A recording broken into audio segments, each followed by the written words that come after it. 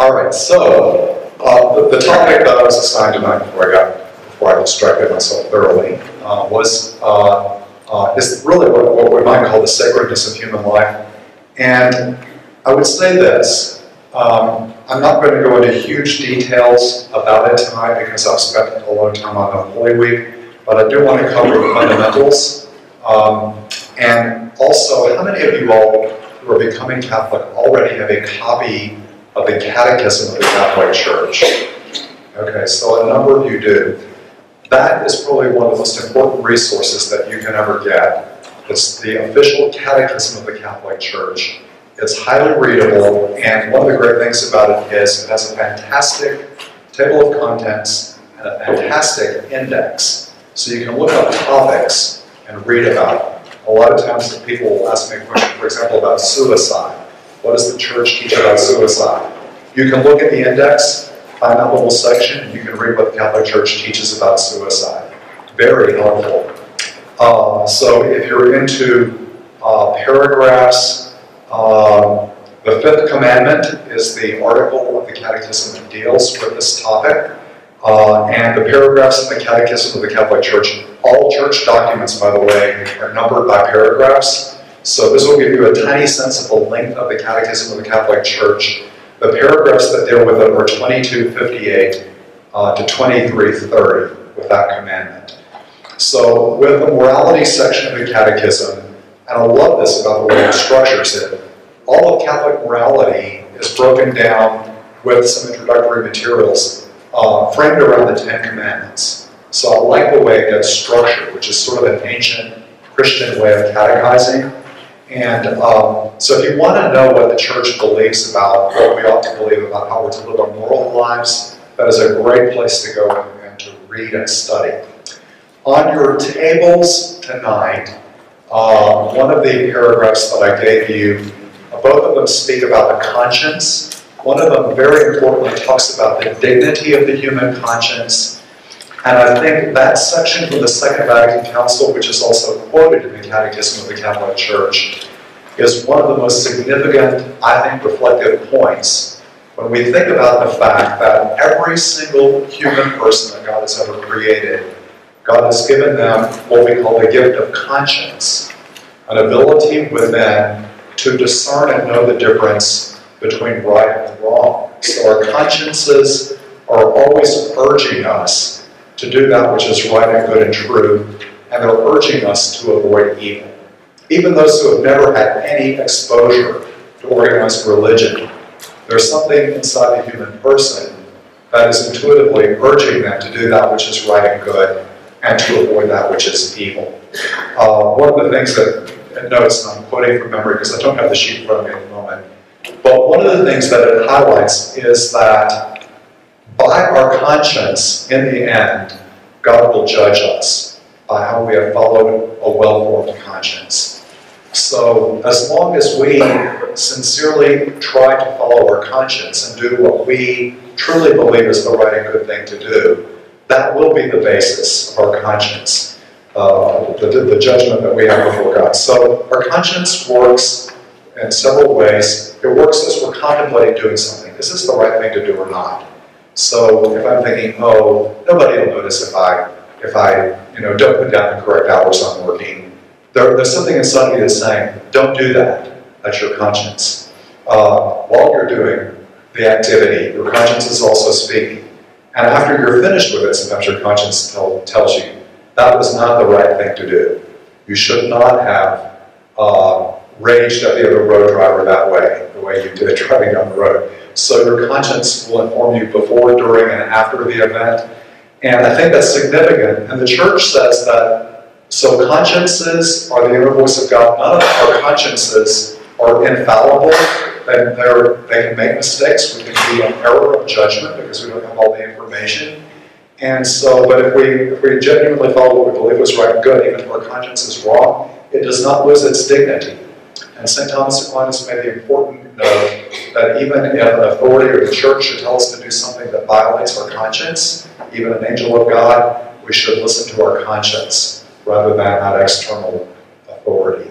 So, um, however, the church also says that it must be a well-formed conscience, that we're docile, we listen to God, we listen to the teachings of the church, we listen to His Word, Jesus Christ, and how He reveals a way of life for us.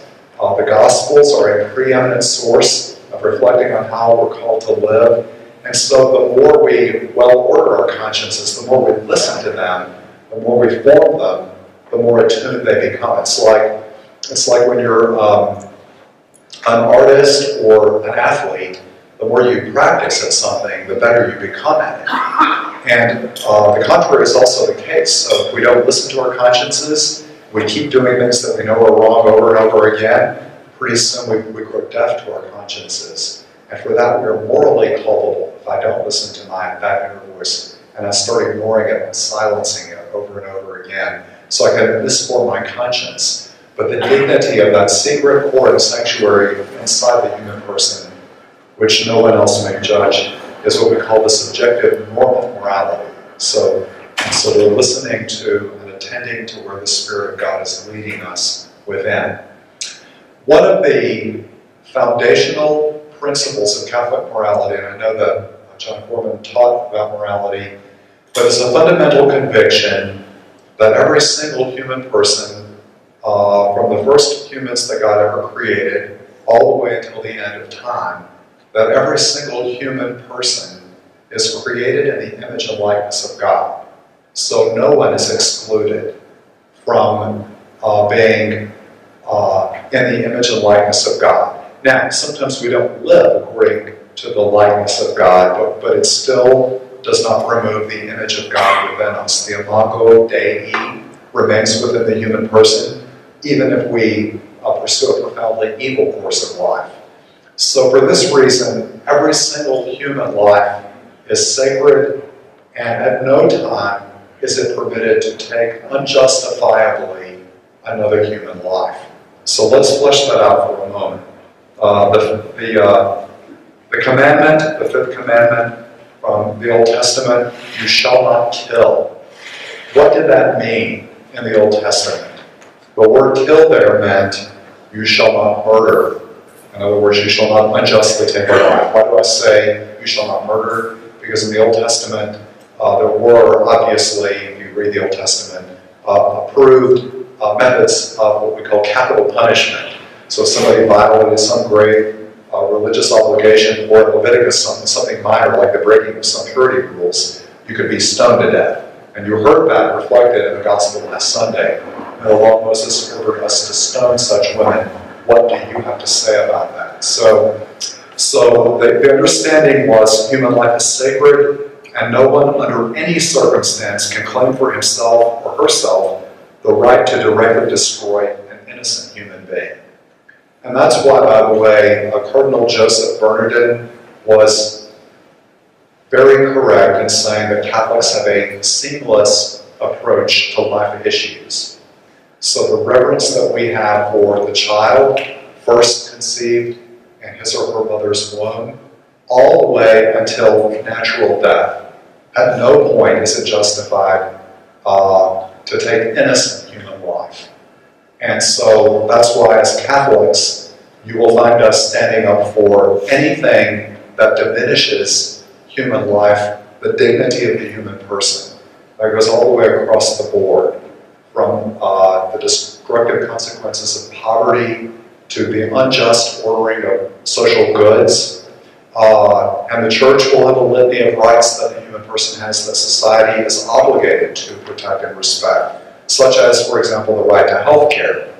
Um, that's why, for example, we not only say that the infant in the womb must be protected, and you may notice, by the way, that when Pope Francis spoke to the Congress in the United States when he was here on his trip, he spoke about the dignity of the human person, that every life is sacred. And as Catholics, we know that language very well. That's the language we always use when we're speaking about protecting the child in the womb.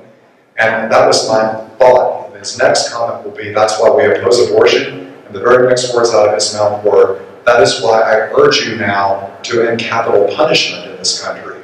So it's very interesting how the Pope himself tied the issue of ending the death penalty with our reverence for human life. So I want to say a bit more about that. Uh, so uh, and one thing I want you to think about a bit, because I know that our culture, the American culture, we can be very pro uh, punishment for crime, and we can also be very pro capital punishment. And um, I think what happens is when there are horrific crimes, we intuitively, as human beings, identify with the victim, and rightly so. But we often, therefore, dehumanize uh, the criminal in the process, and we forget that they too are human beings. And um, one only discovers that, by the way, if you ever have the opportunity to work closely with people who are in prison or on death row. Uh, so, which I've had some opportunities uh, to be with such people. I think about Jesus in the gospel this past Sunday saying, Let the one uh, of you without sin be the first to cast the stone at her. You know, could we conceive of Jesus executing someone when he himself was executed for capital punishment, for example. Uh, I remember when the bishops of the state of Tennessee, along with the United States bishops back in the 1970s, were working to end the death penalty. Our own Bishop of Nashville, Niedergeses, was on, I think of what those days was called the Teddy Bart Show, with a Christian minister from another church. And he said, uh, and Bishop Niedergeses was opposing the death penalty, and uh, the, the minister from the other church was promoting it. And so the, the host said to the minister, could you see Jesus doing? He said, he certainly would. You know, I, I thought to myself, so we can project onto the person of Jesus our own beliefs very easily, rather than looking at what Jesus clearly says and does in the Gospels. So, uh, you know, when he talks about loving your enemies and praying for your persecutors and turning the other cheek and so forth, uh, my good friend Father Joe says, I think when he says love your enemies, he doesn't include bombing them in that definition of love.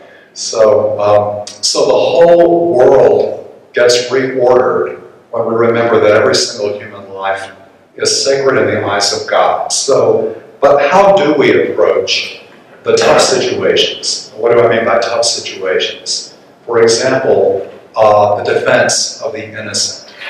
If uh, an innocent human being is being attacked by an unjust aggressor, uh, does one have a right to defend oneself in Catholic moral teaching? The answer is clearly yes. Uh, and if you have the ability to protect an innocent person from an unjust aggressor, you not only have the right to do it, but if you have the power to do it, you have the obligation to protect the innocent. So uh, we have never said that we do not have a right to self-defense, and certainly a right and an obligation to protect the vulnerable and the innocent. So what does this mean? It means that, however, we also are very clear, one may use the force that is necessary to protect the innocent, but not more than the necessary. So if you can use, for example, police are able to use non-lethal means to subdue an aggressor moral teaching. So you can only use lethal force uh, as a last resort if that truly is the only way to defend yourself and to protect the innocent. Um, the same dilemma, by the way, uh, unfolds in the church's teaching about just war. Uh, you know, the earliest Christian community for the first 300 years, roughly, was pacifist. So they did not take up arms, and in many cases, those who wanted to become Christian were expected to leave the Roman uh, imperial armies and transfer their allegiance to Christ from Rome. So the early Christian community was uniformly pacifist. How did that change in Christian history? Well, Christianity, uh, after Constantine had the obligation to take care of civil society, and uh, the barbarian tribes, uh, I like to call them Germanic tribes because that's the German blood in me, when the Germanic uh, uh, invasions occurred in the Roman Empire, innocent people's lives were at stake.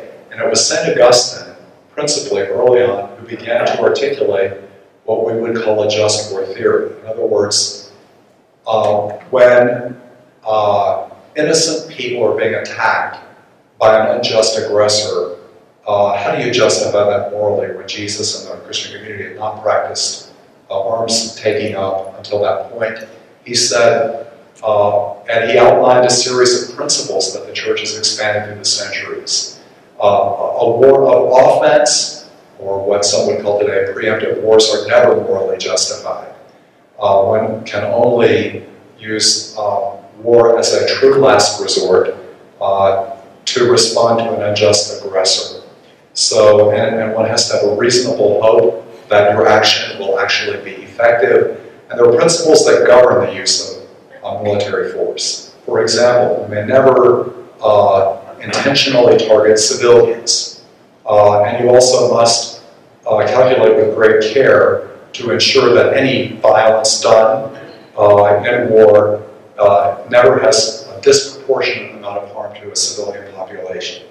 Uh, and the Church has categorically condemned at the Second Vatican Council the use of any means of total destruction that destroy what we call weapons of mass destruction are always morally anathema, the use of them, and uh, Christian uh, tradition. So, the Catholic teaching. Um, so this was articulated clearly uh, at the Second Vatican Council.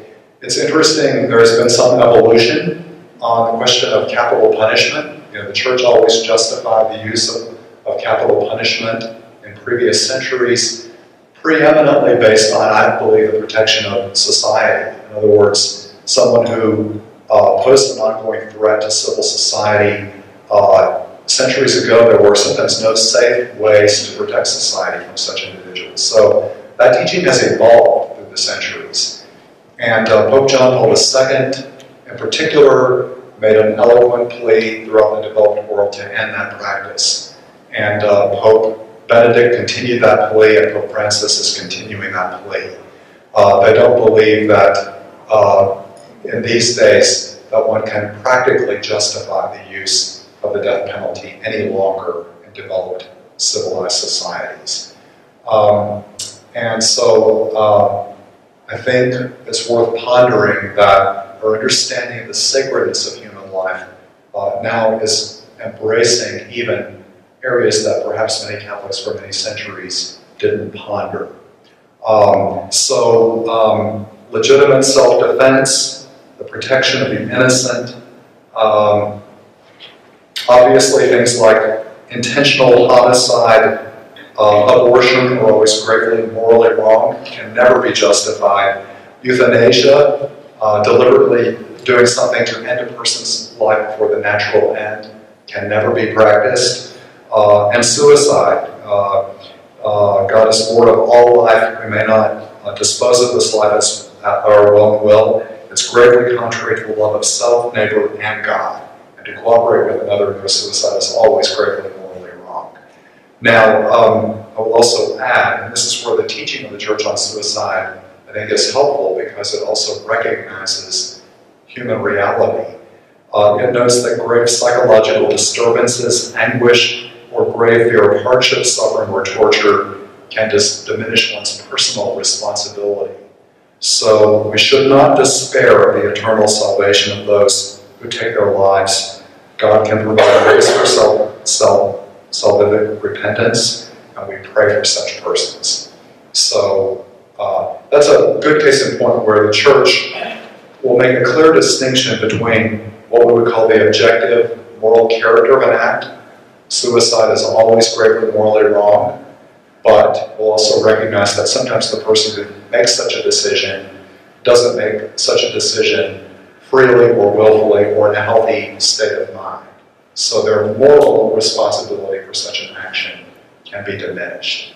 And that's true, by the way, of other moral evils as well. We can always make moral judgments about the character of actions or inactions, whether they're morally good or not, uh, but we cannot judge the conscience of another human person.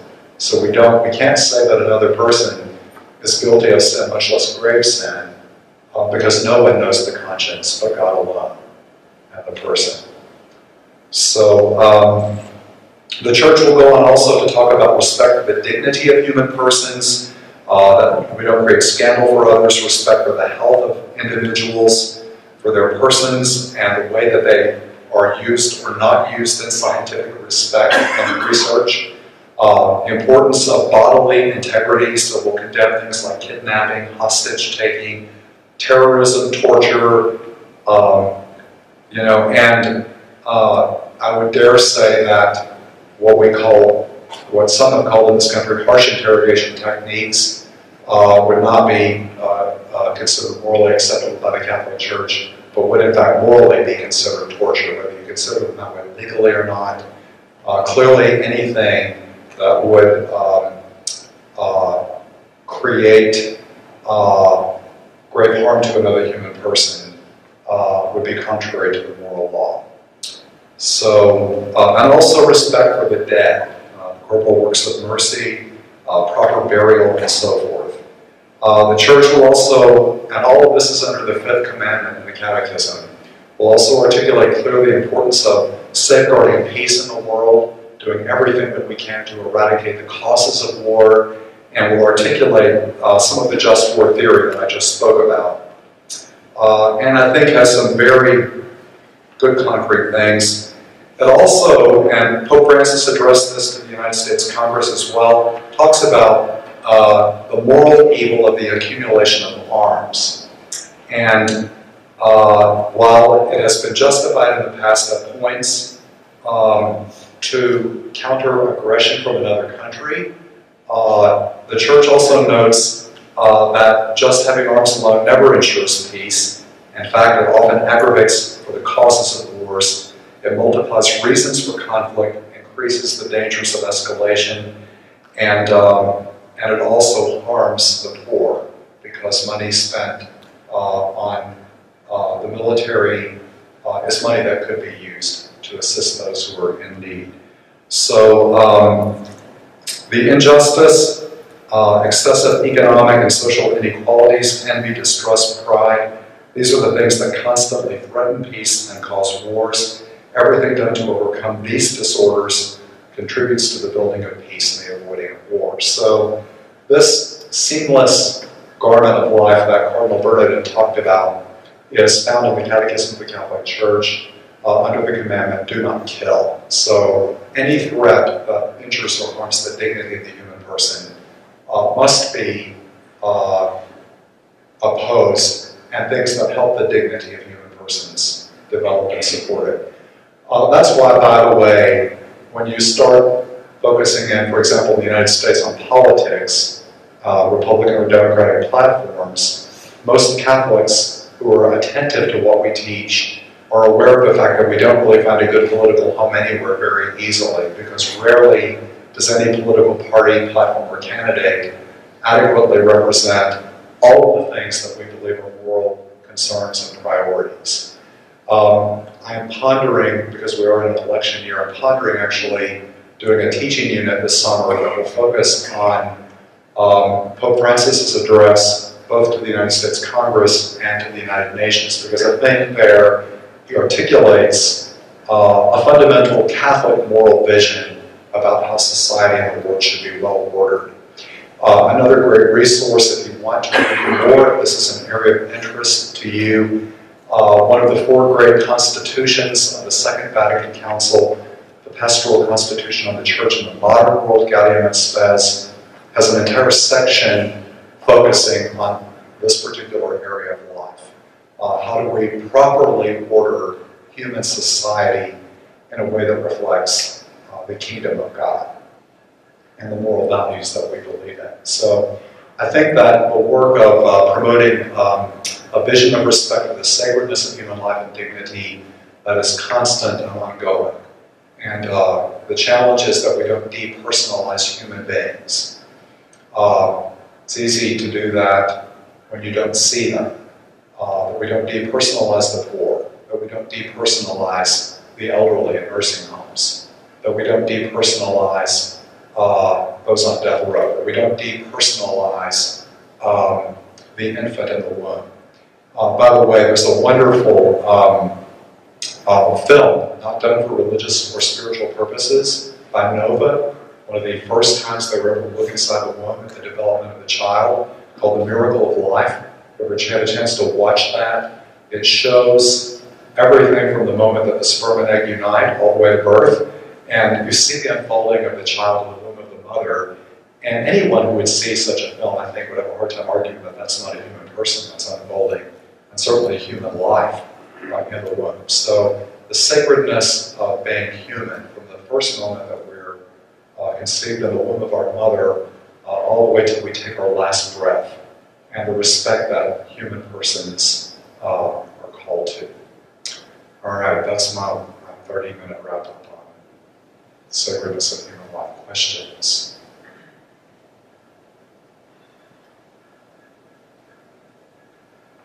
Thomas, uh, back in the World War, how does the church think about uh, the bomb?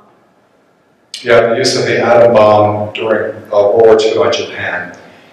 The interesting thing there was that's where a technology developed for the church had a chance to do moral reflection on it because we never had a, a weapon before in human history that could annihilate uh, without distinction civilians and combatants. So we didn't really have a specific teaching about such a weapon at that point. So it was only in light of, um, so that happened, what, in the mid 40s?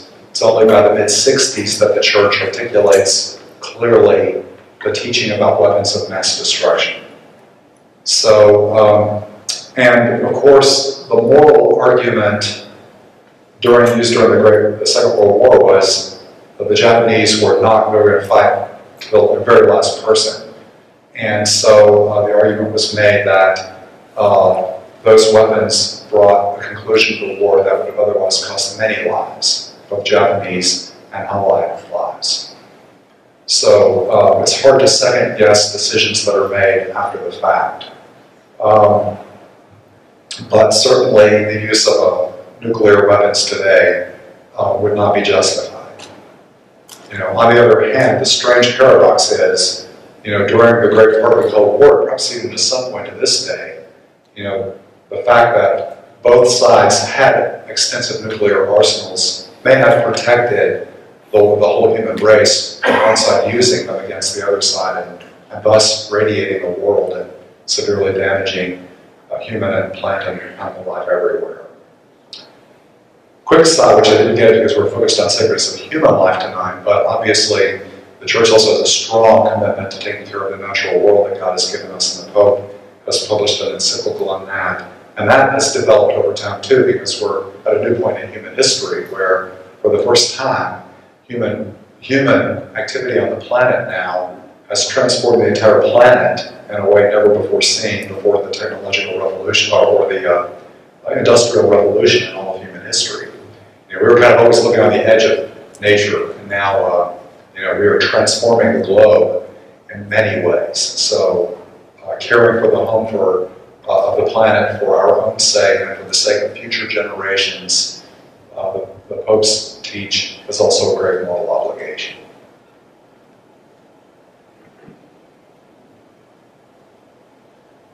All right, that's my last bit, unless any more questions, because we still have another witness talk. True.